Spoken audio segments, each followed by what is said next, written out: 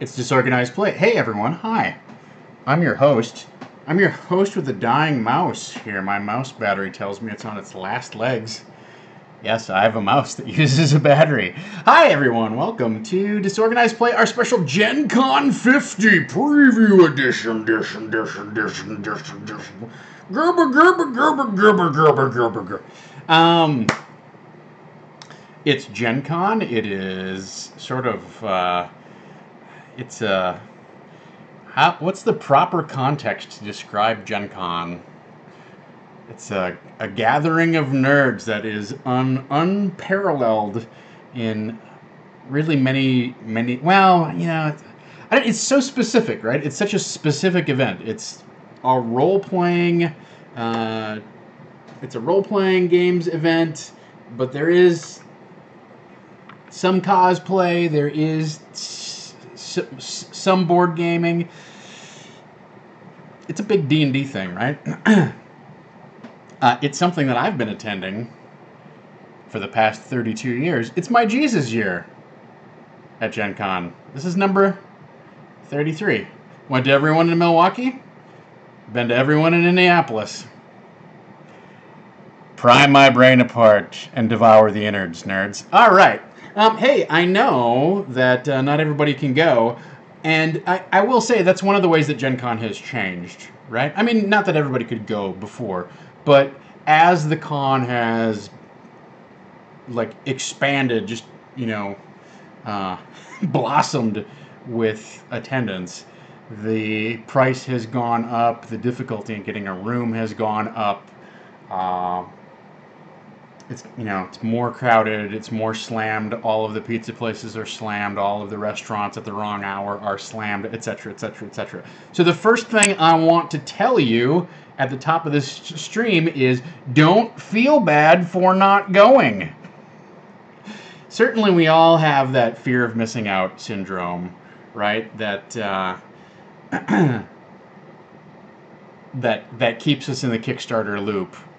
But um, it's going to be okay. You'll be able to live vicariously through Twitter or whatever. Nobody who goes is going to be able to do everything cool even if they're actually there, myself included. So it's four days to celebrate, but hopefully you have a local con that is just as much fun, although on a different scale, or maybe you can go to your local con and make it that, like, have that fun special con experience that you couldn't otherwise have. Uh, locally here in Los Angeles, we have three of them that uh, are all gaining more traction. I'm also a fan of Big Bad Con, up in the Oakland area in terms of the West Coast. But then there's a, there's a ton of regional cons that you can go to. If you really want a great big giant con experience like Gen Con, you could also go to one of the PAX uh, events, or you could go to the Board Game Geek Con down in Texas, depending upon like what flavor of nerditude you want to indulge in. Uh, I'm also a big fan of Gamehole Con in Wisconsin. So I'm here to tell you, they've sold out. It's all right if you didn't make it or you can't make it or you can't go. It's okay. I know that like there's a big like nerd push like let's get everybody hyped about Gen Con, Gen Con exclusives and Gen Con this and that. and part of that is just an artifact of our industry. That's the way things have been for our industry. Um, and I say this as someone who loves Gen Con and has been for the vast majority of my life attending every year. Um, but it's okay. It'll be okay if you can't make it. You're going to get by. So let's talk about a few things. Uh, let's go through our agenda for today. If you have any questions or whatever, um, just you know, feel free to to kind of uh, machine gun them out there. I don't have like this. I do have an agenda today, but it's not super tight. So if you have uh, if you have a, a, a, question or something that or a tip that you want to share, go ahead and throw it. I'll try and watch chat as I do. Yeah, you can do all 19,000 events. You can just do it. Just try.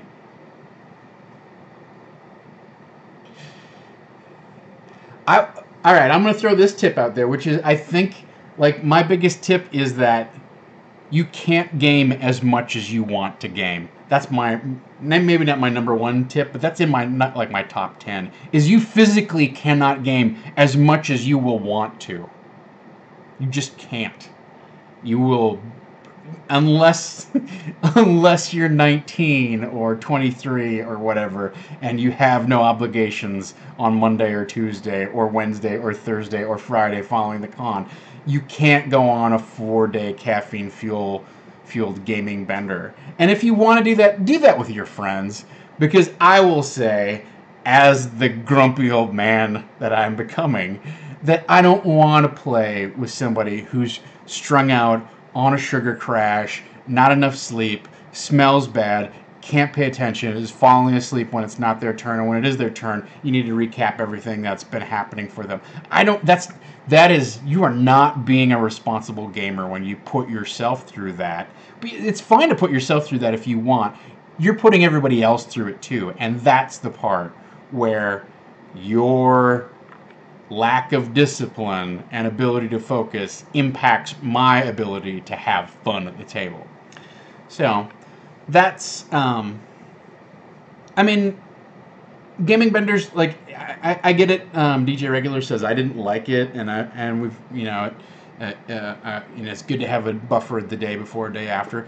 I, I, I mean, I recall those times fondly, but I don't maybe have the the I guess you know. Here's the thing: when I think of the gaming benders that I went on, we didn't. When I was in high school and we were playing D and D a lot, we didn't so much have gaming benders as we had sort of like a series of wind sprints, right? So it wasn't that we would play D and D for 36 hours in a row and just like, ah, it's so amazing. What we would do is we would play D and D for six hours in a row, four times a week, you know, like just day after day, like, okay, now, all right, guys, let's play again, you know. And eventually, at two or three in the morning, everybody fell asleep and they all woke up around nine or 10 o'clock. And then at 10 or 11, you had some pancakes and uh, thought about going outside and kind of looked at the table and went, do you want to start playing again? I don't know. Let's let's have some lunch. Let's play some video games, and then maybe we'll come back to it. So it wasn't so much that we gamed for a huge block of time in a row, as we gamed a lot. Like we were able to churn through an adventure because we would just go hard at it four days, four or five days in a row. Those are the times that I remember fondly because I was actually awake and paying attention. 130 came around and I was like, I. Is this a D12 or D20? I don't know. All right. so, there you go. Uh, our topics today the numbers, packing, etiquette, self care, games, shopping list. Well, why is that last? It should be first, right? That's what we're all here for. Yeah, yeah, yeah. all right. Uh, let me run through the com- the comments quick. Um, yeah, it's tough being an adult, you guys. That's that's what we've all learned. Uh, okay. Yes. Yeah. So, Pace yourselves. Pace yourselves. Mr. Mike Shea is in the house. Hello, Mr. Sly Flourish. How are you? I'm looking forward to whatever uh, DMing advice uh, column you are working on. It looks like you're doing some hardcore research. So, oh, quiz question. Mike Shea says, You may have covered this in other material and can aim it towards me, but how do you prepare for a game if you only have 30 minutes? All right. So I have a question about this. Do you mean preparing for like an Adventures League game where you have to like you have prepared material that you have to get them through, or do you mean oh hey you know what? Hey we'd love to run a game uh, what do you get what do you got what do you got in your backpack? What do you what are you going to play? Can you can you run something for us like an impromptu off the cuff where maybe there's no pre-gens there's no um, there's no prepared material that you have to like hit the high points for? That would be my question I'll try to I'll try to cover them both quick. Um, so, if you're going to run an Adventurers League game and you only have 30 seconds to prep it, there's always a string of kind of like uh, there, there's some encounters that seem optional or just seems like a combat filler encounter. Try and cut those out. There's typically like sort of like uh, introductory encounter, you can always trim that way down. So don't get too bogged down in what the intro is and the long scene that comes ahead of time. Those things are always uh, overwritten a little bit, right? Um, and then lately they have had a series of um, a, a, a, key design mechanic in Adventurers League, which uh, I I more or less took advantage with the the latest thing that I wrote. Um, is it's a series of optional encounters. Pick three of the following things that happen during the journey to the Forbidden Tower or whatever it is, right? Well, you can usually eyeball those pretty quickly and go, not interesting, no, nah, mm, uh, uh. So you always pair see if you can scan through the thing and just pair through what are the core plot elements. In my experience, Adventurers League adventures are always overwritten. Uh, there's always more material than you can cover in three and a half hours. So squeeze it down, wring the juice out of it, and then skip stuff that just seems like it's just a combat encounter. That's that's my number one piece of advice because those things take up a lot of time and and they don't require a lot of attention from you as the DM. So you can drop them in if you're running ahead of schedule, but not knowing okay, well these I need to understand these five rooms that happen at the end of the adventure. Get those down. So just learn to like quick get your editing pen out and hit the like circle the highlights. We got to do this, we got to do this, got to do this. And you, you as a DM, you can always pad out the playtime with uh, with a, a, guard encounter. There's always some sort of combat encounter in there that is honestly extraneous. So you can always pad it out with that, or you can pad it out with role playing and create a role playing encounter out of the material at hand that will help you fill at the time. So don't be afraid to just mercilessly cut those things. So that is my advice on prepping an Adventurers League game is, uh, you know, make sure you have your monster manual with you so that or or the other the other thing that I will do just keep this in mind is rip those pages out of the back that have all the monster stats in them. Just rip those out and have those at hand so that you don't have to flip back and forth flip back and forth flip back and forth. So I think I think a, a, a sort of a standalone Adventurers League thing that's not like an epic or something like that, you can prep in 30 minutes if you work at it. You're under the gun, but yeah. Um, yeah. Uh, in terms of doing an impromptu game, I'm uh, I'm a fan of Danger Patrol. Danger Patrol does not require any prep on your part other than you need to have it with you. So you need a bag full of dice it would be helpful if you had the character sheets. But you don't have to prep a scenario, and it's one of those games that you can find a way to reach the conclusion without having, you know, in whatever time constraint that you have. So I like I like Danger Patrol because it so much of the lore and the world is jointly created with the players. Um, that's a John Harper game. Nobody's surprised that I mentioned a John Harper game. Uh, I like uh, so Zero Scale Loping Bastard says I used a hacked version of Dusk City Outlaws to rerun a Shadowrun game I run a couple times before. That is a great tip. There's no reason you can't cheat and pull out a plot that you've used before. That is a great tip. Unless the players have played it already, if you've had an original scenario, use that same premise. So that is uh, that is happy. Uh, I'm trying to think what. I mean, there's there's a lot of different options. I'm just trying to think of what what quick little pickup games I would sit down and like to play. So the other thing that I would recommend is um, I uh, there's a set of cards. I'm going to go get them.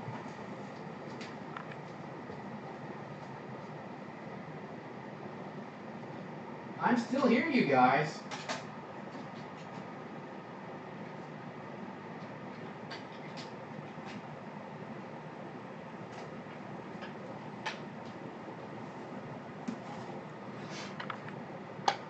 All right. So, uh, there's there is a set of cards put out by Evil Hat, and just as a disclaimer, for those of you who don't know, I do social media for Evil Hat, so take whatever you want as a you know grain of salt. But uh, there's a set of cards called "It's Not My Fault, I'm Fantastic." It's not my fault that I'm fa- I'm fantastic. It comes with. Oh, you're looking at the wrong side. All right. It comes with a bunch of different cards here, right? There is a deck of character type cards.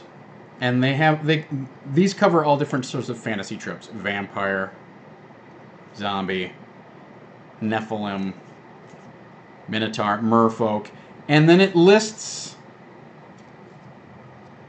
it lists careful, flashy, quick what they are, right?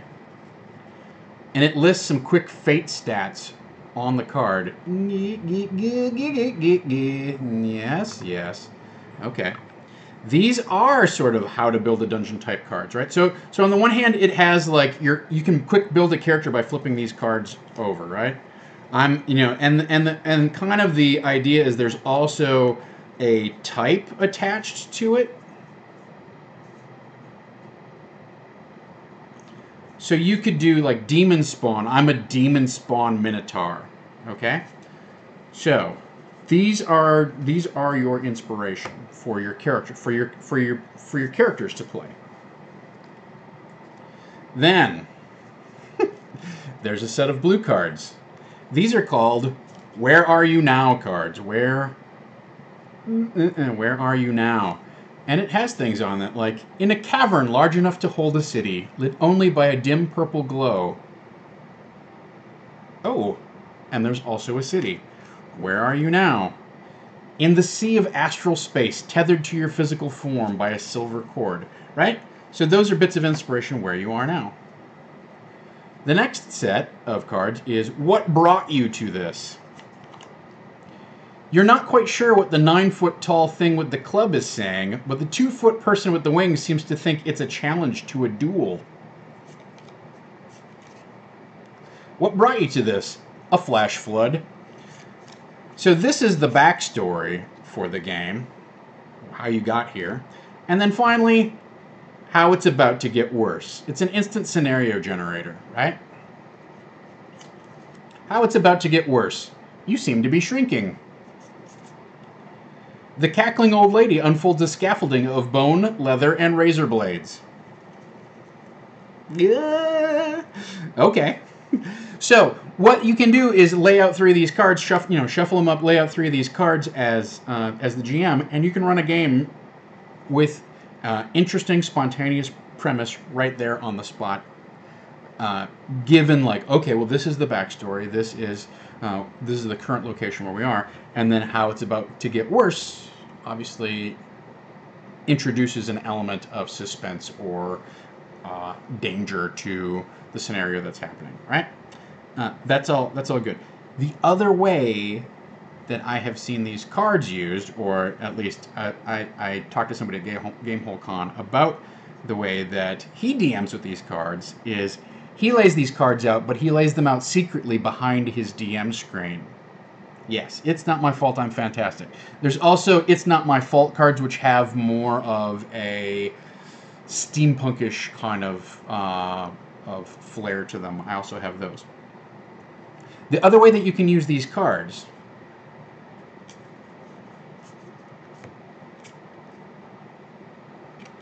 you can start with where where are you now? You can start with okay everybody, you are atop the back of a great behemoth as it proceeds inevitably forward. You are riding atop the Tarrasque. It seems intent upon destruction of everything in front of you, and yet you sit in the saddle completely unscathed by the mayhem around you as it chomp, chomp, chomp slowly works its way forward, right?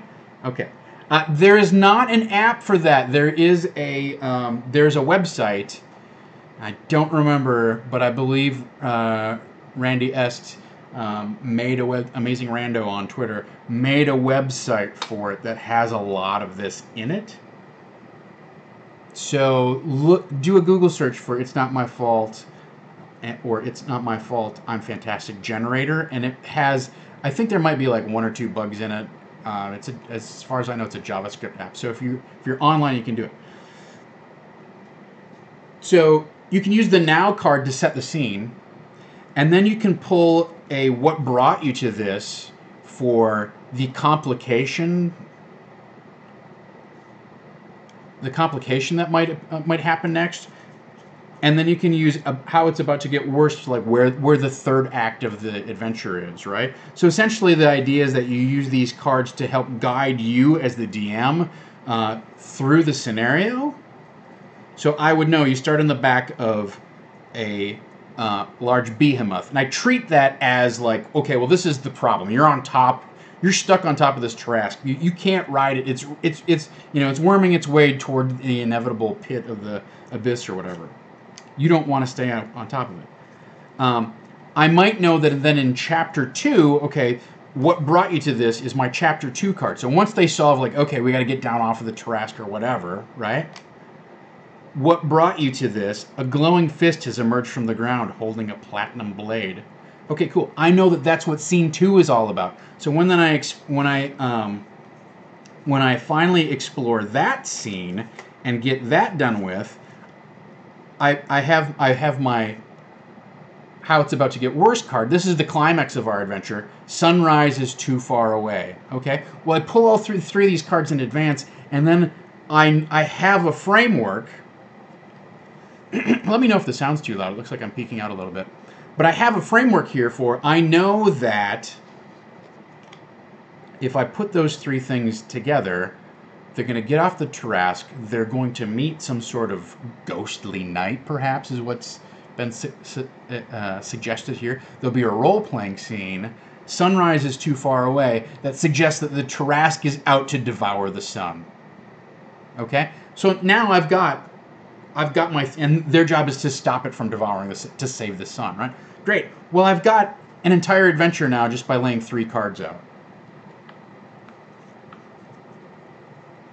You can use Fate Accelerated for this. You know that ret- that book retails for five bucks. Um, uh, Randy also, speaking of Randy Oest, um, did these turn tracker cards. I don't know if you've ever seen these used. I'm sure Mike you have but it has ready for action and I've gone and then it also sorry and I'm done it also has cards for minions lackeys big bad guy other big bad guys flunkies. Yeah more ready for action cards. You can get those at Drive Through RPG as well. They're called the turn tracker action turn tracker cards. Active player. Pass that around. So that's it. That's you know you can run Fate so lightweight and so quick, and there's so little paperwork involved. Uh, it, it's it's very narrative and fluid. I think I think Fate makes a great all-purpose pickup game when you just want to sit down and kick something out. And I think that it's not my fault I'm fantastic cards, especially if you use them in this way where if you're not if you're not a superstar improv GM, like obviously all of this relies on the fact that you have improvisational skills, right? But uh, if you're if if you lay those three cards out and you're like, okay, well this is when that's played out, I don't know what to do next. Well, number one, you could just draw a couple more cards of from the it could how it's going to get worse. But I like the idea that you lay the three the, the three of them out in secret, and now you have a framework for the adventure in front of you. And we came up with this cool thing where it's like, oh, I'm riding a Tarrasque into the sun. Like, that's our game. I wouldn't have come up with that, like, just off the top of my head. That sounds awful. I wouldn't want to. I would. I would love to play in that, but I also wouldn't want to play in that. You know what I mean? But laying those three cards out, like now I see, like there's room for there's room for the GM to start making connections between what's happening and what's coming forward, and start foreshadowing elements and that sort of thing. Um, there's also room for the players to make discoveries that the GM has, you know, cleverly seeded in the preceding scene. So I think that approach to using those cards is relatively in, ingenious, and I'm trying to remember the Twitter handle of the Beloran Fox is the guy on Twitter who came up with this. So all uh, all kudos to him. I, I, I, hung out him hung out with him at GameholeCon last year, and he talked about this. It was a really great idea. All right. Mike says, My favorite Fate trick is to treat NPCs as though they're just challenges and make it diceless for the GM. Their challenge level equals their stress boxes. I mean, Fate is eminently hackable, right? And I think there's a lot of. Uh, there's a lot of ways to. Uh, yeah, this is this is a. There's a lot of ways to, to to hack it and like and cut to the heart of of whatever scene you're trying to get to, right? you don't have to worry about whether that thing has 15 hit points or 50 hit points or whatever. It's like like there are ways to you can cut cut the corners on Fate without people feeling like you're busting and breaking the system. Yeah, so this is at Drive Through RPG. You can order these as print on demand things from Drive Drive Through RPG. And while you're there, I would suggest getting the turn tracker cards. I I I, I enjoy them for popcorn style um, initiative. If you play any of the Cortex games. I used it for my Marvel Superheroes game um, uh, during the Alzheimer's marathon, and I thought it worked super well. I really, it's it's it, it's a very nice, handy um, visual reference for you. I mean, you, you know, just use. You can also just use index cards if you want, right? But uh, if you're going to pick up some cool game aids and they're not particularly expensive, go for it. All right. Uh, I'm happy to go off on some tangents here, so this is fine. I don't need to talk about any of these things in depth, other, other than kind of what's on my shopping list. I do want to highlight a few things that I'm looking forward to, but that doesn't mean that we have to have, um, you know, that's, that doesn't mean that we're not, we don't have time to take some questions. the other thing I will say on related to the topic of like playing a playing a pickup game is I tweeted about this earlier today, but uh, Games on Demand is a terrific way to show up, see what the sort of smorgasbord of options is out there, and oftentimes there's indie games that are being offered, things that you wouldn't normally play, things that are off the beaten path. If you want to get into a D&D game, you can find a D&D game to get into, right? You can find an Adventurers League, you know, or whatever game to play. But I suggest you go to the con and try something new because unless you're trying to like really get some of the con exclusive juice out of playing your Adventurers League character, you can play D&D kind of at home at your game shop or whatever. Hopefully. If you can't go play D&D, great. Play Pathfinder or whatever. Those things are all super fun and fine. But if you want to get exposed to new games and you don't want don't have somebody in your group who is willing to take the time to learn and watch and figure it out etc then go play games on demand and jump into that game of fiasco or whatever it is and learn dungeon world from somebody who's gm'd it before so games on demand is a terrific place to go and just pick up a game it you know doesn't you don't have to make plans. You can kind of jump in when you when you want to jump in, assuming that they're not sold out. Um, so it it adds some flexibility to your schedule if you end up shopping a little bit longer than you wanted to, or you find out that like oh we got out of lunch a little bit late and we we missed that start of whatever slot. Like Games on Demand has a pretty regular churn on it in terms of getting stuff started. So. Uh, so that's that's uh, something to consider is go to the games on demand area. James V, I think to answer the question that you you pushed over to Christian, I believe that there is an offline mode that is going to be released later, and I think that's rolled into the price for the new D&D Beyond product. so, James V says, great point. My first Gamehole Con was an all Cypher System Numenera Strange weekend, I never had a chance to play it before, and it made for a great experience. I will say, I went to Big Bad Con and we did games on demand. My wife was doing something and I hadn't signed up for something. I don't know. Like we, for whatever reason, Lindsay and I had a lot of miscommunication about like what games we were going to play at Big Bad Con. And I found like she was she got into a game that she wanted to play, but there was only one spot, or I wasn't interested in playing it, or whatever. So I went to Games on Demand.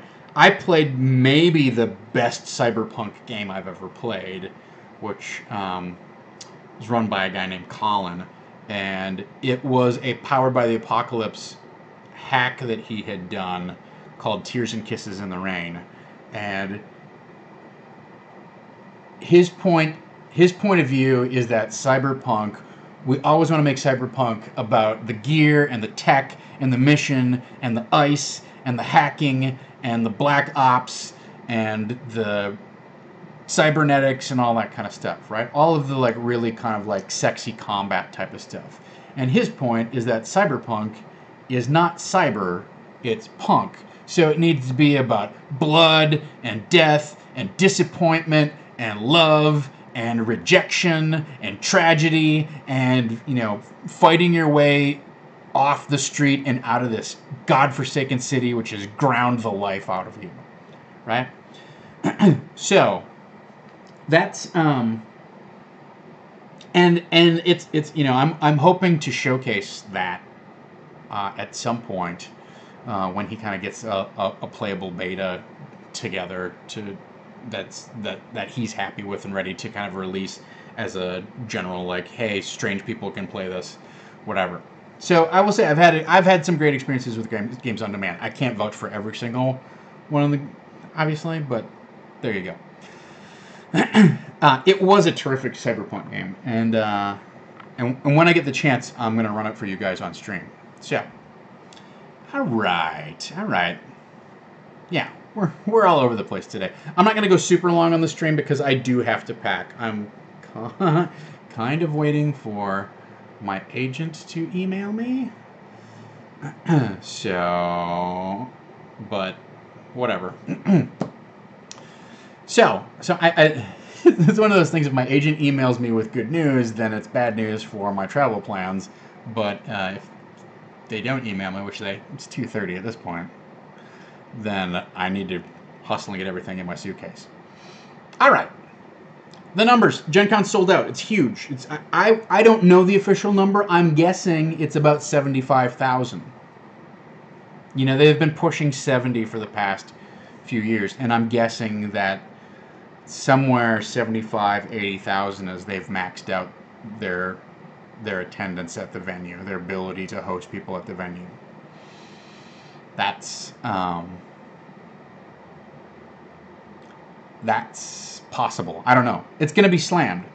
So that means all of the usual things, which means uh, I think I think they'll probably have line management under control. You know, I expect badge pickup to actually go relatively okay, but who knows what it's going to be like Thursday morning. be a little patient. Uh, that also means all the businesses during peak meal times are going to be slammed. All of the food trucks are going to be slammed at peak meal times, right? You may think, I'm just going to, oh, I'll just run out to the food truck and grab something quick. Those people get backed up. The lines at the food truck can last 45 minutes or an hour. So have that in mind. And there's there's two sides to that. One is be prepared to have to wait and be okay with waiting. Number two is when it's your time to leave, leave. Don't camp out a table and be the jerk who is squatting on a place and they're just sitting around like basically taking a rest break. You can find a place any you can find someplace else that's not burning some woman on tips burning some dude on tips or whatever because you're tired and you want to take a break and just drink coke. like you can find a place to do that at the convention center trust me. So so be a considerate consumer on both sides. That sort of brings us over well so let's talk a little bit about etiquette right? There's just a couple highlights that i want to hit which is we already talked about have some patience right? Important show some consideration but also in terms of showing some consideration like okay we're going to clear out here and as Savage Scott says, consider taking a stroll to a more distant restaurant versus the one right across the street. You're helping yourself, you're helping them, you're helping everybody else. uh, and James V points out, be nice to the service people. They're working hard to feed you. I, from what I can tell anecdotally, the service people like nerds. Like we are good consumers for them. We tip well. We're fairly polite. We're not jerks. Okay, keep that reputation up. Don't get too full of yourself and get carried away with having your fun at the expense of your waiter or waitress or server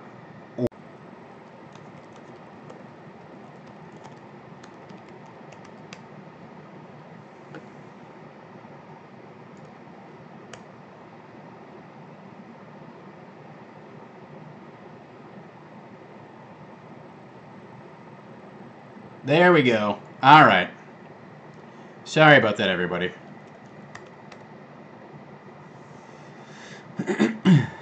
Ooh, gotta watch some ads here.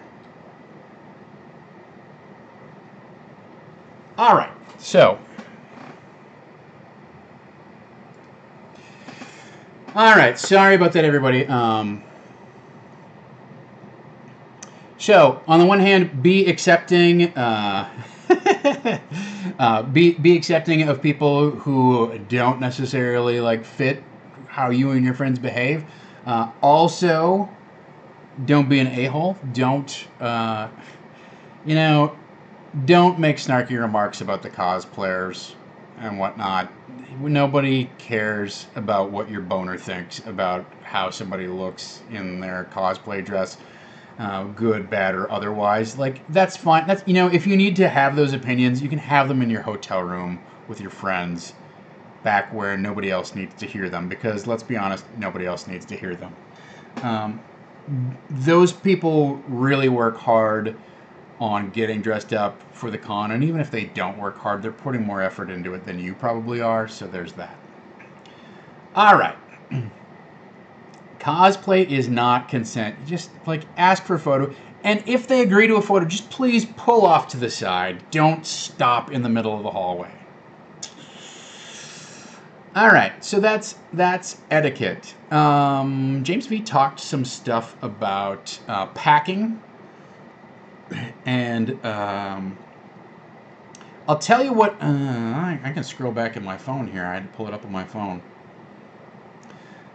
yeah, a kit of cords and batteries or chargers. Uh, using a shoulder bag, Savage Scott W says use a shoulder bag, bag, uh, and that's nice. You know, it doesn't. You don't have that weird. I've used a shoulder bag, and I, I like that too. uh, so, so there's ways to keep it. The number one thing I will say about packing is pack less than you think you need. You need paper. You need writing implements. You need dice, maybe. You're probably going to buy dice there. And then, do you really need a copy of the rules? Do you? Do you really need a copy of the rules? If you're running something, maybe. If you can fit that stuff on your tablet, take your tablet. Pack light. You're going to buy so much. I don't know. If you're like me, you're going to be tempted to buy so much stuff that carrying that around plus all of your rule books, just a burden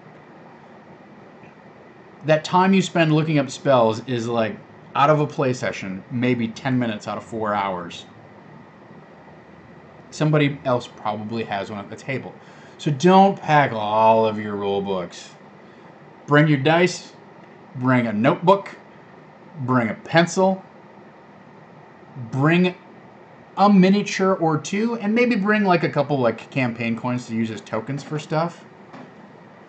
But yeah, and as Christian Linky points out, you can FedEx or UPS stuff back home, right? So if you get if you if your suitcase gets full, just make a stop. Make a stop at your FedEx office store. It's another what, twenty bucks to send all that stuff home. You're gonna spend twenty five on your suitcase anyhow. So keep that in mind. That's that's kind of packing both ways. Um, so we've talked. So, I really love to have an. Uh, let me go get it. No, that's not there, but.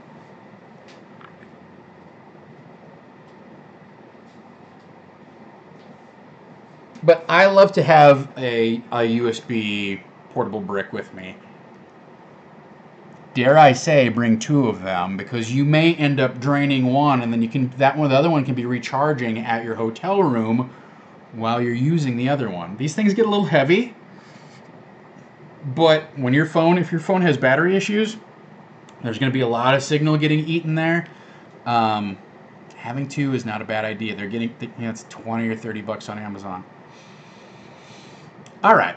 So those are, those are those are some basic packing tip tips. Uh, I, I, I linked to an article earlier in the week that had stuff over. I think it was on Geek Dad that had some tips, some great tips about bring an extra shirt with you. you trading shirts, just a little like putting a little deodorant on and tra- changing shirts really can help your life feel better. Changing socks will also make your life feel better. Wear comfortable shoes. All of this stuff is sort of no nonsense like. Uh, common sense 101 stuff that I've covered previously, but is worth saying, right? So those things. The other thing that I thought was a great tip from there was bring your own own badge holder if you have one. If you have a badge holder that is comfortable, that you like wearing, it's probably better than the string thing that the con is going to provide, right? So, yeah, and the humidity can be bad. I haven't looked at what the um, I haven't looked at what the forecast is. Let's look now. Mm, I'm not going to look it up on the stream. Polos made of wicking material. Yeah, that's not that's that's not a bad idea either. Um, I always find it's a great opportunity to get my um, nerd T-shirts, get the most mileage out of my nerd T-shirts. But uh, you know, uh, being comfortable is also important. And I also have to say, it's it's important to have a couple outfits that aren't just strictly like nerd gear, right? You're there, there may be a night where you want to go out to eat, or you may not want to wear that on the plane or whatever. All right. So socks, having just having an extra shirt available sometimes. There's that one day where you're like, oh, this, this is a lot worse, and you're just gonna feel better. I'll tell you, like I've been at the con where it's 10 o'clock in the morning and somebody's already been up for three hours and they, their shirt is just pitted out you got another solid eight hours of the con to go for sure. Uh, having a water bottle is not a bad idea. Let's talk a little bit about that. Transitions to let's talk about self care, right? Don't just rely on your caffeine drinks. In fact, I would say put them off as long as you humanly can because caffeine will push you up, but then it'll drag you down. So that's not. Ah, M says hello. Looked up the weather for Indy, and it's thunderstorms Wednesday, then low to mid 80s the rest of the con. Yeah, it might be. it might be a little sticky there. Always try to look spiffy at the Ennies. I will be at the Ennies. I will probably bring at least one They Might Be Giants t-shirt, right? That's that's when, you know, you want to show that you're not any ordinary nerd. I'm not I'm not going to the concert and I feel like a bad fan, you guys. I feel like a really bad fan. uh, yes, hydrate, hydrate, hydrate with water. Water, absolutely. And you know, you can also get those little Mio flavored water things if you're not like, I don't want to drink tap water. Like, you can get regular water and then add a little juice to it. Whether that's the energy carbonated one or just one that's flavoring, you can do that and it'll make the water taste like something sweet if that's what you have uh, a craving for, right? So that's fine.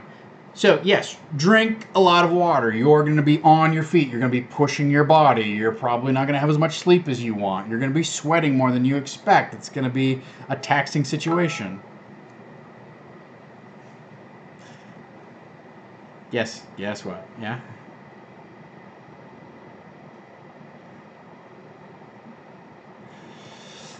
so, so drink plenty of water. Get plenty of fluids in you. Please do that. The other thing, take a look at what I've got. I went to Trader Joe's today and got a uh, bag of bags. so these are this is just little trail mix individual pou pouches that are packaged.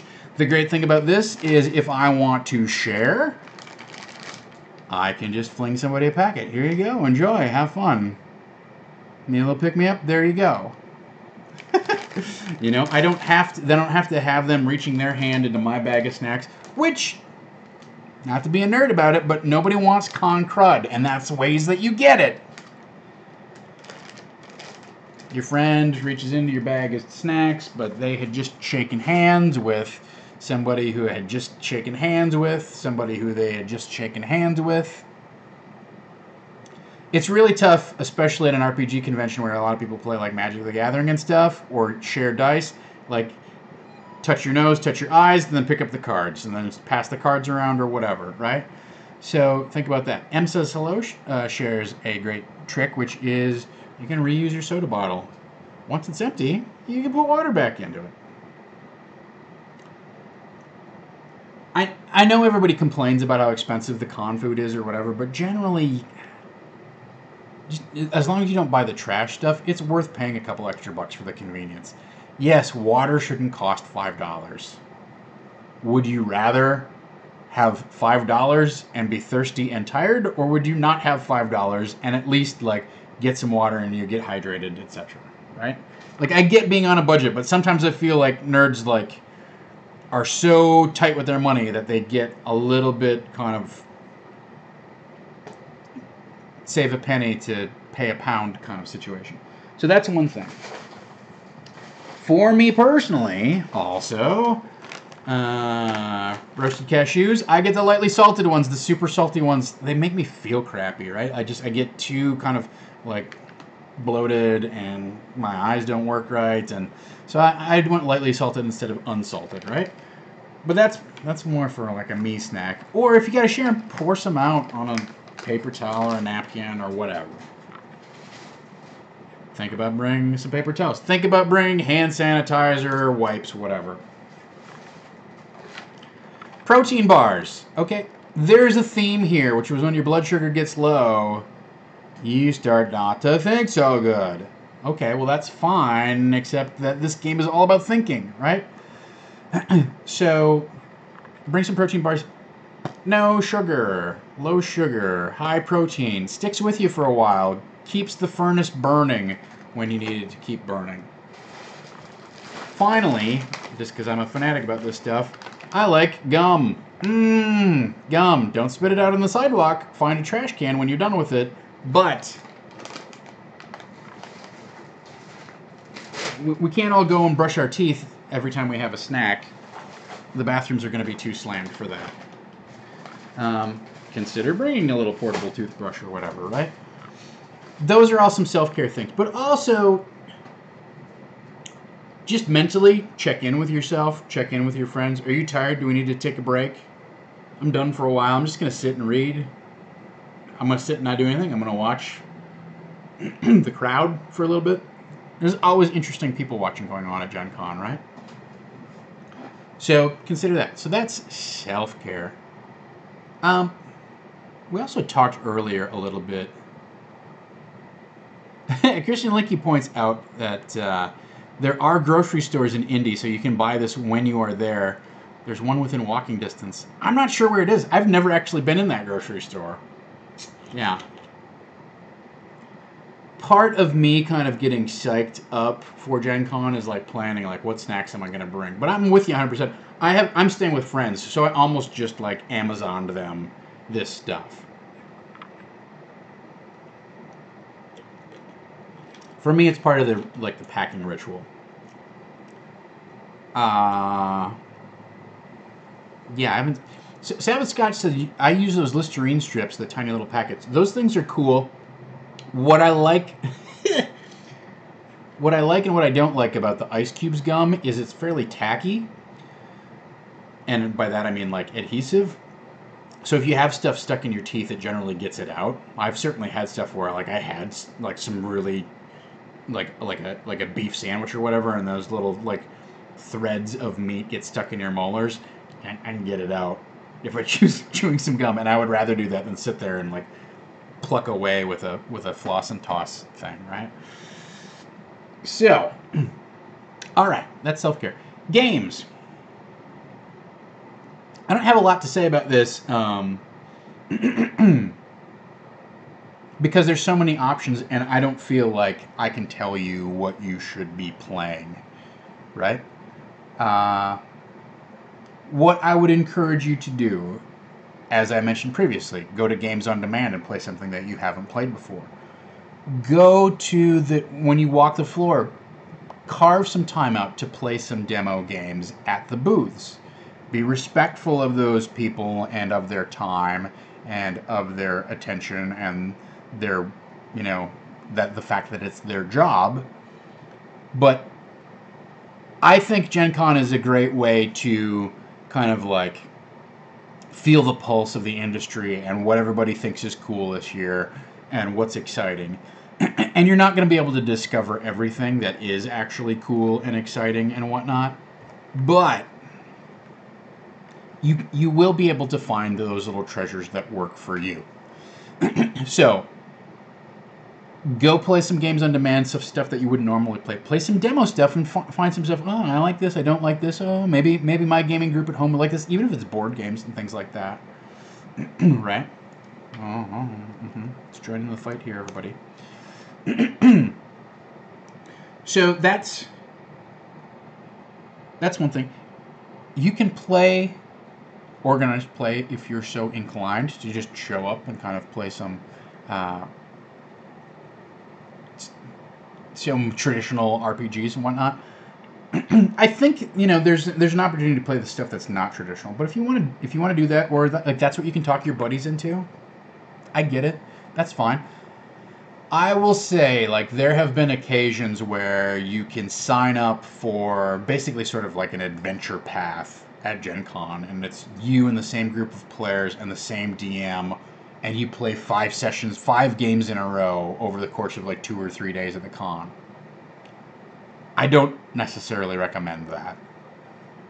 If you don't like your DM, you're stuck with them for the next four sessions if you don't if your playstyle doesn't jive with one or two of the other people in the group you're stuck with them i've met some uh, super fun people that i've gamed with at gen con and i've also sat at a table and been annoyed with people where their playstyle just isn't compatible with mine and it's always easier to follow up and find a new game with somebody that you met at the table. It was like, hey, you, know, we're gonna go play this. Do you want to join in or whatever? Um,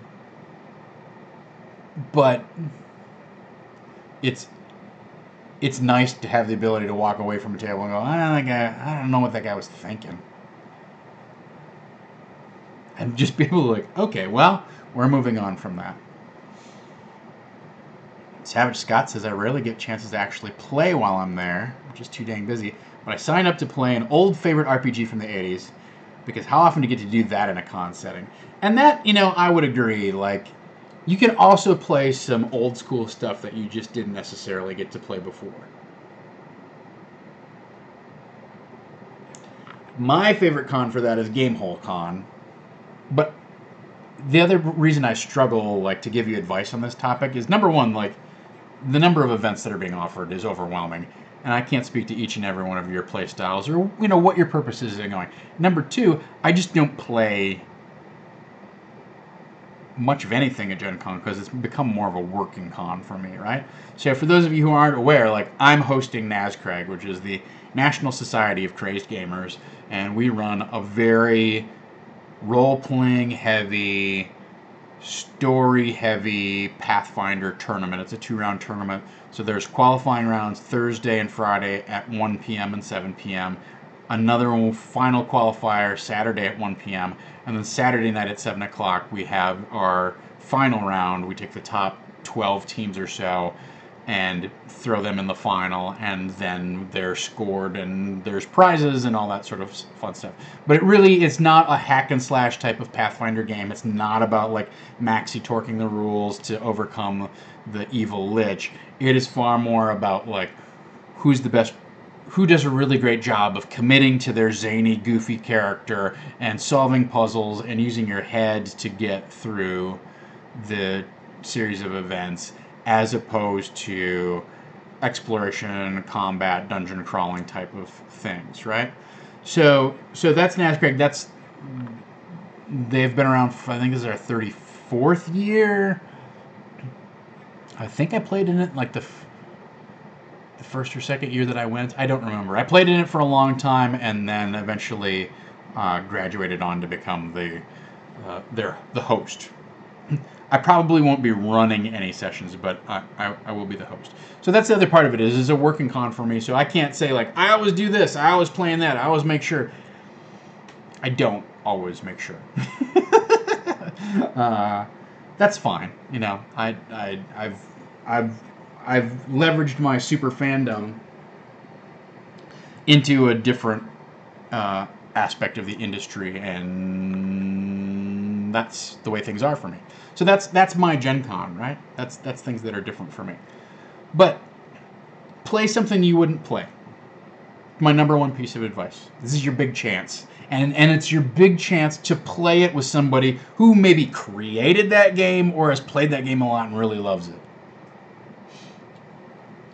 Um, Christian Linky says, I was trying to play the stuff I haven't had a chance to play before. Got to play Tunnels and Trolls with Ken St. Andre and other amazing things. Do the things you can't do anywhere else. And that's that's true, right? um, uh, there's so many things at Gen Con that you can't do someplace else, like play in a tournament or play one of those old school events or play a brand new game that just came out or whatever or do true dungeon right? I always look at this as an opportunity to break the mold of whatever i've i've been doing with my regular gaming group and go do something brand new. I mean you, there's also entertainment right? Like there's also the people that you um, meet uh, online or that you watch doing actual plays and stuff like that we're all going to be there for the most part right so if you want to meet the Saving Throw crew, you can meet us at Gen Con. If you want to, you know, at least see Critical Role live, there's a good chance you can go do that. so it's four days. It's, well, Sunday is really just a shopping day. it's three days packed end to end with a huge variety of interesting gaming events. Make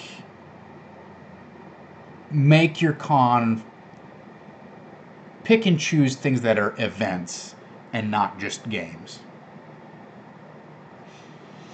All right. Uh, Castillo says one of the people in my game group is running stuff for Contessa, Dungeon World, and Scenic Dunsmouth. so if you get a chance, go do Contessa. Absolutely. M says hello. There's the exhibit hall, panel seminars, seeing friends from opposite coasts killing them, killing their characters. I mean, that is also one of the fun things. Is like when, like when I played in NASCRAG over and over and over again, you'd start to see the same people. Obviously, it was the same staff who's running it, and that's how I became friends with those people. So you can, if you go over and over again, build bonds that kind of like, especially with the internet, we can finally have that face-to-face time with people that we only know virtually or online.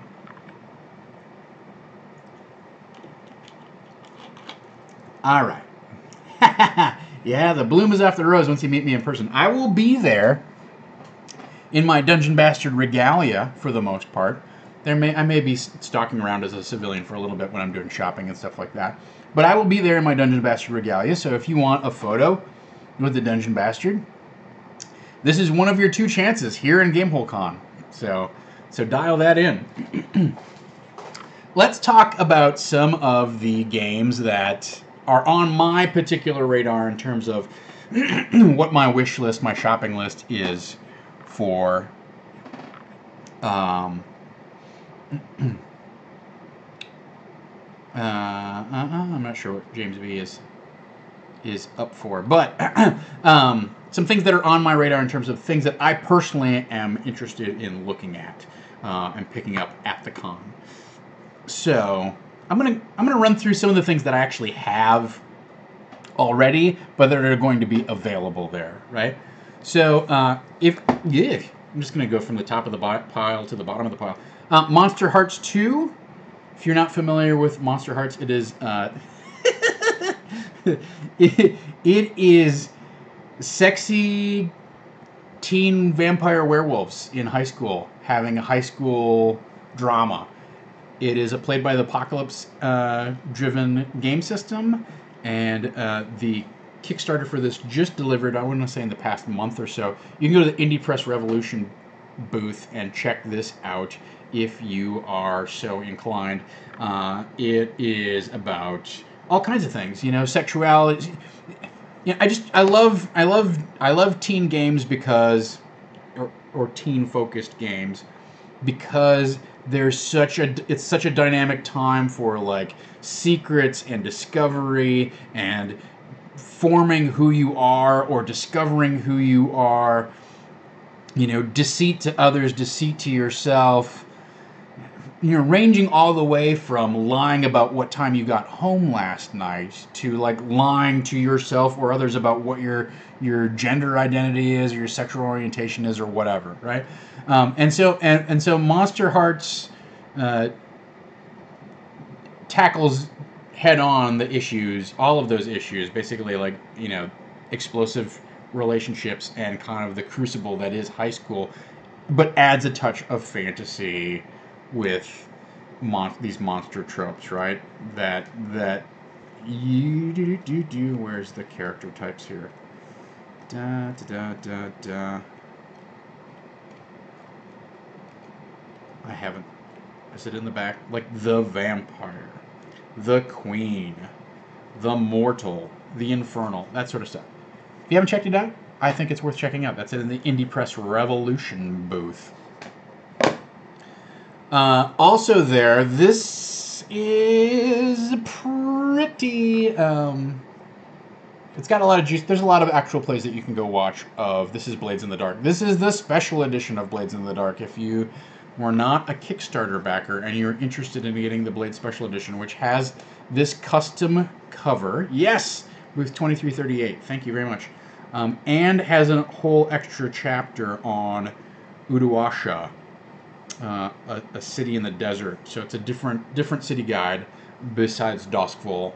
uh, that is this. There's a limited number of these copies that were basically done uh, as an overrun to protect against like oh if there was a damage we'd have to replace it or whatever. Indie Press Revolution is going to have a limited number of these that you can buy from them, the, the special edition. Otherwise, it's only available through the Kickstarter. This obviously is a, a I don't know if it's obvious. This w- was produced. This is a John Harper game. Was produced by Evil Hat, right? So again, like my standard disclaimer, I do social media for Evil Hat, so whatever. um, that's colors my worldview. I paid for this book out of my own pocket. I was not provided a complimentary copy or anything like that. Um, But if you want the special edition, go to booth 2338 and go get one because I don't expect they're going to last very long. If you just want the standard edition, go get that one. But Blades is definitely a game that I'd like to get on Saving Throw Show sometime soon. The other, there's two other Evil Hat titles that are coming out or that are going to be at the Indie Press Revolution um, booth that I think you should be aware of. Uh, one is the Dresden Files Accelerated. If you're a fan of Dresden Files, I suggest you go get that book. It's basically it's the the Fate skin. It is a much more condensed, streamlined, straightforward, and up to date version of the Dresden Files RPG in one solid, compact little um, package. And yes, they have the Dresden Files full RPG, the three volumes of it I think there, you know, there's some stream, there's some streamlining that's been done in Dresden Files uh, Accelerated, and also the timeline is caught up with the timeline of the books. So, it, and also it's got great presentation. Like, I mean, Evil Hat does great stuff, and I would say that regardless. Um, so, if you are a fan of the Dresden Files universe, or you are interested in doing like a modern fantasy kind of noir mystery game, right? Check out. Um, check check out Dresden Files Accelerated. The other book, which I don't have a copy of either, uh, that comes out on Thursday is the Fate Adversary Toolkit. And you may say to yourself, ah, I'm not really into Fate. I don't really get it. I don't, I don't want to play it. I like something that's a little more crunchy or whatever it is. That's fine. That's cool. this book does a great job of categorizing oppositional forces that you can introduce into your game whether it's you know the burly bruiser type of villain the mastermind or it can be obstacles like environmental obstacles introducing a countdown a ticking time bomb type of scenario or whatever it is so I think this book is really useful in terms of giving you an idea when you're sitting down going, all right, what kind of challenge can I throw at my players? Giving you inspiration of like, these are high level bucket categories uh, that you can drill into to help inspire you in creating your game. So, those are two titles that I don't have here, but the Fate Adversary Toolkit uh, is something that I would recommend if you're a GM, no matter what system. In fact, Mike Shea, if you're still out there, which you probably aren't, I think you'll want to look at that for your GMing advice. also, I think this is, I mean, this is the it'll definitely first time be available at the con, but th- this Jade Colossus book for Numenera by Bruce Cordell is the latest title in the Numenera line, and again, like I, everybody knows I'm a Monte Cook fanboy, but their production, their art production and layout and design is so gorgeous in here. For number one, and then number two, it it it's an entire campaign setting that has some fun knobs and dials that you can kind of turn on this thing, and whether you use it for Numenera or not, you can use it to inspire a Numenera style campaign because they have this whole rune mapping engine that Bruce did. Um, and that's it, it's just got some some nice mechanical chunks to it that I think allow you to do some sort of I find it inspirational. Let's put it that way, right?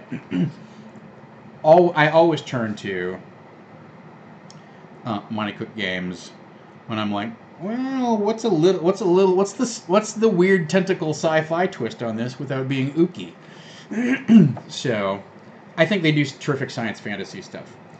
So, Jade Colossus not available in any of the Kickstarter packages. If you didn't, you know, if you backed one of their get every book that comes out in 2017, you're not getting this book. This is their own independent. Um, it's an independent release. But Bruce does great work with this. I would re- recommend you at least stop by the booth and take a look at it. also available at the Indie Press Revolution book is Carthune. We've talked about Carthune before. Brian came and ran a game for us. This is definitely like one of those books that is 100% system neutral. It is certainly intended for a fantasy style game. Now, whether that's Savage Worlds, whether that's D&D or Pathfinder, whether that's Fate, whatever you want to use it for, that's what this is intended for. It's a world of, of epic fantasy where things are going wrong. So, if you didn't back the Kickstarter and haven't gotten your copy, then you can again stop at Indie Press Revolution and pick that up. So those are things that I already have that are going to be available at the con for the first time this year that I recommend you check out. The I, I wrote down some other things here in my little list. So, I am interested in the new Star Trek game from, I think it's from Modiphius, right? The new Star Trek game looks interesting to me. I'm not sure. I have I have a I have some friends. They're big into sci-fi, and their daughter is really getting into Star Trek. She's kind of like gone from Harry Potter to Star Wars and is now crossing over into Star Trek. You know, kind of like as the various pools of media get used up, you go and drink from a different well. It seems like the Star Trek game they did a they did a really good job. Um, Savage Scott says the Book of the Righteous for 5e will be at Gen Con and is a must buy. So uh, I've I backed that on Kickstarter. That should be coming. I'm interested in that. That was like one of the classic uh, build a pantheon of gods type of books for third edition, and I'm uh, eager to see it come back to uh, uh, fifth edition. So I'm going to stop by the Green Ronin booth regardless because I'm also interested in the Tal'Dorei um, campaign setting from Critical Role. Like that's blown. Like they they did so many pre-orders on that they quit taking pre-orders on that. So I think that's going to be a hot one at the con to try and get a hold of. The FedEx guy or the UPS guy is stalking his way towards my door. So that one, that one, I'm definitely like, I want to check out that and see if I can get a copy of the Critical Role campaign setting. I think that will be good. I don't know if I need to. I think I might have to sign for this. Hang on. Oh no, he walked away. All right, great. so, uh, yeah. So I'm, I'm curious about the, the, the Star Trek game. I'm, I'm curious about the Tal'Dorei setting. Uh, like I said, I have friends who are running a, or who who love sci-fi, and my buddy wants to GM a Starfinder campaign, so I'm going to pick up a copy of Starfinder. I'm interested to see what Paizo has done with Pathfinder and how it's changed and what their take on a, a sci-fi game is. So I'm planning to get that because I'm probably going to be playing in that. I'm anytime I get a chance to play, that's it's a nice opportunity, right? uh, so there's that. Um, I think I'm also going to pick up Tales from the Loop from Modiphius. The the the quote unquote Stranger Things game, the 80s kids action game. I think I looked at the Kickstarter and I didn't back it, and I kind of regret it. Although, you know, let's be honest, we all have more games that we can possibly have hours in the day to, to play, right? Um, so, so when I, looked at the Kickstarter and I was like, I just wasn't sure about the rule system, but I did a little checking around. It looks like it's actually fairly fun and fast and flexible. More importantly, I think that Lindsay would like playing that game. And and and as has become evident, like lately I'm on this huge kick of like games where you are you play as as teens and kids, right? It allows you to incorporate some of the goofier aspects of role playing, and yet it's plausible. Uh, and there's only a couple other things that are no, don't delete on my list. The other thing, a BMMB figure? Fuck what, I'm not sure what a BMMB figure is. Um, so the guys over at Inkwell Ideas, I don't know if you remember, but wow, way back in the way back of disorganized play, I had their monster manual cards, their little organized, you know, little stat cards where it has all of the essential stats for that monster put on one playing card size piece. You get a whole oh Burgermeister Meisterburger. gotcha. um, and as DJ Regular points out, everybody's been a kid, so you can always slip back to that, that mindset. you can be the best best worst version of yourself. uh so the the folks over at Inkwell Ideas have a couple things that I really like. One of them is they have little like village mapping cards. So you they're they're ge- they're village geomorph maps, and you you can flip them over to instantly create a little village if you if you are so inclined. They have the same thing for dungeons, where they're geomorph dungeon cards, and you can flip the tiles out and, and, and build a map as you go if you if you want to do that. But they came out with these, you know, this deck of cards that was about yay big, and they had multiple decks of these things that had all of the monsters in the monster manual. Well, they're they've licensed the monsters from Tome of Beasts, and they are going to have a deck of low-level creatures from the Tome of Beasts. I'm such a sucker for anything that has cards involved that I may be getting that as well. Obviously, I'm going to get some dice. That's always on the list. Um, and then the final thing that I'm considering getting is Pandemic Le- uh, Pandemic Legacy Season Two. We haven't finished Pandemic Legacy Season One. I think we're in like May or June. We're about halfway through it. Um, and we had some extenuating circumstances that sort of in, interrupted our playthrough of it. But I really, I'm, I, I'm enjoying that game. Do I need to get the season two at Gen Con since we haven't finished the first one? I don't know. As Christian Linky points out, if you're going to FedEx stuff back home, you don't have to worry about what size box you got because you don't have to worry about it fitting in your suitcase. You just have to worry about making sure it's got enough cardboard around it. So, uh, that's uh, no, no. By all means, uh, M says hello. Please share the booth numbers for people. That's very helpful. I, I don't have time to. I, I haven't looked them up. So, yeah. I mean, there's what's your must visit booth. I also I also like to just like go around and see the small vendors who are offering different things. Right. Like like when I was running Monday Night Dungeon Fight, I found all of those little campfires and you know little drain sacks and water buckets and things like that. I found that at a little board gaming booth and it was five bucks. And I was like, yeah, I'll get those. So, um,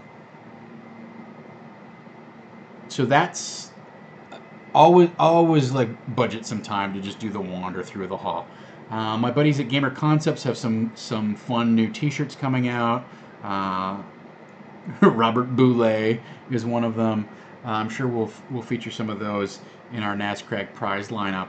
But uh, yeah, it's hard to make a definitive list. But those are the things that are like high on my radar. the Indie Press Revolution book all uh, booth always has interesting interesting stuff. Whether it's that they're they're going to have everything that Evil Hat carries, or not everything that Evil Hat carries, but they're going to have all the highlights from Evil Hat and Fate dice and things like that. Then they will also have a bunch of uh, small press stuff that that I always find interesting and appealing. Last year, I got the hashtag feminism micro games compilation uh, for my well for my wife, but also for myself. Um, and uh, Ryutama, I don't know if I'm pronouncing that correctly, is like sort of like this anime kind of Japanese anime role playing, but not in a like a Sailor Moon type of way. So Uh, yeah, I always like to, to, to come home with some odd accessories, like Savage Scott says. Uh, Dapper Devil gaming paper, especially. I'm sure I'll stop by and see Eric and walk home with some goodies. I love I love that stuff, as everyone knows. So there you go. Um, yeah, we went a little overtime despite my best intentions, but I think sorry about the interruption in the middle of the stream. But that that is Gen Con 50. Uh, I will I will be mostly doing NASCRAG stuff. I may stop by the Bald Man Games booth and run the uh, adventure that I wrote, so I can see how it plays out. Uh, didn't get a chance to play test it, and I also feel like once once I once I run it, I'm sure I'm going to have some solid ideas on how I want to trim it down, edit, change, improve. I'd like to do another pass on it before it kind of like gets officially posted to the DMs Guild.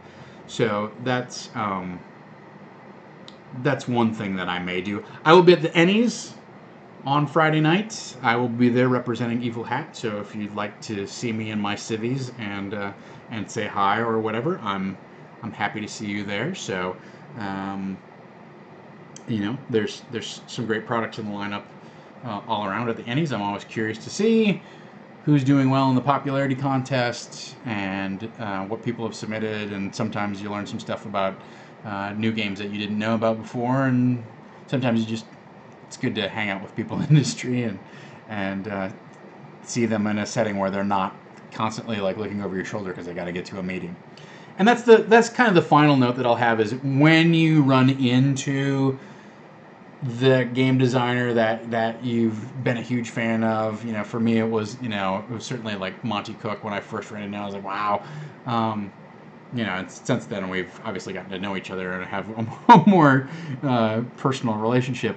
But when you run into those people like that, whether it's like Matt Mercer walking down the hall or whatever, like it, I'm sure it's okay to approach them. Generally, they don't get recognized a lot, so Gen Con is kind of a nice moment in the sun for them. Um, but just be respectful of their time, and if they have to get moving on or whatever, uh, just be considerate in that respect because I will tell you, for the industry people, it is a working con and it is a place where they do a lot of business that you're not aware of. So they're on their way to hear a pitch or to do a pitch or to take a meeting or talk about a licensing deal or talk about a partnership or what have you. And if they're not on the floor working the booth from 10 to 6, then they're out having a meeting, making something happen for their business around those hours. So generally they're good about setting up time to like meet and greet and obviously we have speaking of those things we have our saving throw panels. So uh, thursday at 11 you can check out streaming rpgs for fun and profit at 11 a.m eastern time. Uh, dom and the rest of the team will be there. I have a judges meeting at that point so i'm not sure whether i will be in on that panel or not but there'll be you know most of the Saving Throw Show crew will be there, so you can definitely meet us there. uh, Friday, RPG Girls, Women in Tabletop. You know, a, a huge panel of women who stream. Uh, certainly, uh, Amy Vorpahl, Havana Mahoney, and uh, uh, um, Megan Caves Callerman will be there for that. Uh, and we've got a pretty good, pretty, a much bigger lineup for that, just other than just those three. But they will be there to talk about what it's like being a woman, a woman in streaming and being a woman in tabletop and their perspective. And I think it's important to, um, you know, not just come and show your fandom, but also come and listen to what they have to say and and uh, find out you know where they see what are what appropriate boundaries are for them and and things that obviously you might not consider like oh that's actually kind of skeevy when you do that i don't really like that's is a little weird. I don't know that it's going to be a huge like dissertation on etiquette in in streaming and boundary setting but it's nice to give them to to to make carve out time for them to give their perspective on tabletop and streaming and their place in it and how uh, it it all could be improved. I mean, we all have ideas about how it could be improved, but it's important to hear everyone else's perspective as well. as uh, I think Mac is on. The, I, I don't have the actual graphic for that in front of me. I, I can't remember if I can't. here's so here's the like the dirty secret, which is I'm so swamped with NASCRAG stuff, and that's fine. Like that's the way it's been for a few years. That I I haven't um, I haven't carved out dedicated time and paid a ton of attention to anything else that's going on, including our own saving throw show, show stuff. So that's on my back. I'll pick that up for not knowing that stuff, but unfortunately, that's sort of like that's the way my Gen Con kind of currently looks, and we'll see how that goes in the future. Gen Con increasingly, like as my career kind of gets rolling, um, also becomes a situation where carving out a week in in the in late August to be away from Los Angeles is getting increasingly difficult. So I don't know. I'm not sure what, what my future Gen Cons hold, but this one for sure is uh, I'll be doing a lot of NASCRAG. Maybe play a pick, or run a pickup game in the Bald Man Games area of um, of my event, and try and stop in and check in with Saving Throw as much as I possibly can. But they have sort of been uh, uh, uh, uh left to their own devices, free free of the curse of Tom Lommel. Let's let's put it that way. All right. Yeah, I don't know where we go next, to be honest. I am not sure if Gen Con can move to LA. You know, they've got a contract through 2020 with Indianapolis, and I expect them to stick to it. We bring in $75 million worth of revenue that weekend. And I don't think, I think, I don't think Indianapolis wants to let that go, and I think they will do whatever they can to hold on to it and accommodate it. 2017, there's you know what three years left in Indy, and it depends upon how much growth there is. I think even starting last year, we started to see a backlash of Gen Con's too big, it's too much of a hassle, it's too expensive, I can't get a room, the lottery is terrible, etc., etc., etc. Estelle Castillo says Chicago is courting them. Um, James V mentions Vegas. um, yeah, I never went to Gen Con SoCal. I don't know what um, I don't know what that's going to be like. James V points out that Tracy King is going to be on the Saving Throw uh, show panel, so that's cool. And I think there's a couple people who are not just Saving Throw people. I think I think uh, Amy Dallen, am I right? Is Amy Dallen going to be sitting in? I think there's a few other people from like uh, from Geek and Sundry who may be joining us there. I'm not sure. It's a little bit of a crossover. Uh, so, Risky Pixels is close enough to Canada that we can go. Yeah, sorry about that. I don't know. I don't know. I don't. I, I, honestly, I think Vegas or possibly you could look at Orlando. I'm not a big convention attender, so but I think of the places that are bigger than Indianapolis that have the hotel room capacity. And I think of Orlando and Vegas as the two obvious choices, and then maybe Chicago. I don't really look at Los Angeles as being a particularly viable alternative unless you had it somewhere like in Irvine or something like that, which is not Los Angeles. Yeah. Well, we will uh, we will all grouse about that choice when the day comes to pass. So uh, that's it for me. Thank you so much, everybody, for for chiming in, giving your advice. I don't know, uh, you know, your suggestions. I, I, apologize for the stream getting interrupted in the middle. I just had a little internet internet hic- hiccup there, a little verbal hiccup. It's time for me to have a little lunch and get to packing. But uh, since my agent has not emailed me, it looks like I'm going to Gen Con, everybody. uh, so that's uh, that's that plan. I, if you are, are if you are coming to uh, Gen Con, please uh, flag me down, say hello, identify who you are. I'm certainly not going to recognize you, most likely. I think James V is the only person. James and Scott and Christian are the only people in the chat that I've actually met in person. So, uh, well, no, M says hello. I've met M as well. So uh, please flag me down, say hello, but remind me of your name. I'll probably be running around a little bit like a madman, but uh, I'm always happy to see you guys, uh, see you all in person. And uh, I hope you get some good gaming in. So I will be back. I'll be tuning in, you know, chiming in on Twitter. Follow me at Dungeon Bastard. I'll certainly be giving my Gen Con, you know, reports and updates as they come by. Stop by our Saving Throw Show panels. Please attend those. Please say hello to Dom and everyone else. Um, uh, uh, be kind with your praise. you know, for a lot of, for some people, this is like their first Gen Con, so I'm sure it's going to be a little bit like nerves and pins and needles. So uh, be friendly, be gentle, be courteous. And that is just generally good advice for the con. So, uh, Risky Pixels, be the guy with the face at the thing. That's awesome. Uh, Flockwad, thank you so much for modding, as usual. Thanks to everyone who joined us today. Uh, until next time, let's dungeon. Well, you know, let's go to Gen Con and dungeon. How about that? Snarking my Twitter feed. I dare you. We'll see you in Indianapolis, everybody!